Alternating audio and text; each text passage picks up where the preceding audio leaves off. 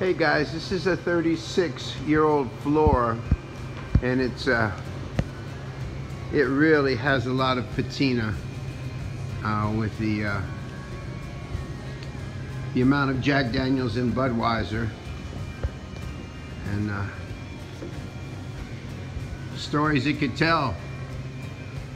It looks good. We've uh, really got it waxed up pretty and we don't often see this place looking this way. Closed. Closed. Nothing happening. Nothing. We are locked up. Locked up. It's our kitchen. We don't use the kitchen often but we're licensed to. We just finished up the porch. It looks absolutely beautiful. We have our signage to put back up there. We've got a little bit to do up at the, the top. See, this has all been redone.